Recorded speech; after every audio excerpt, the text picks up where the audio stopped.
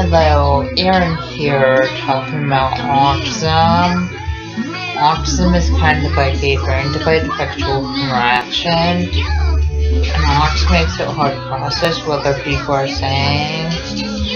Also, autism makes it hard to process other people, hugging, kissing, and autism makes it hard to process other people holding hands. Also, autism makes for people anxious when large crowds and loud sounds. And autism makes for people anxious wearing backpacks. Also, autism makes for people anxious at school day. And autism makes for people anxious on the school bus. Also, autism makes for people have a hard time tying shoes buttoning shirt collars. Also, just let know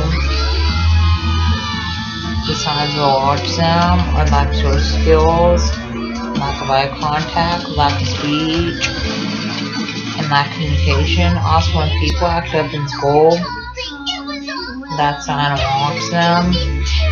Also, when people have low grades in school, that's a sign of autism. Also, when people stim in school, that's of autism.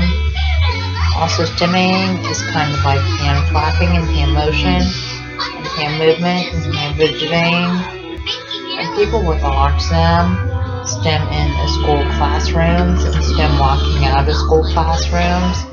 Please subscribe, rate, and comment.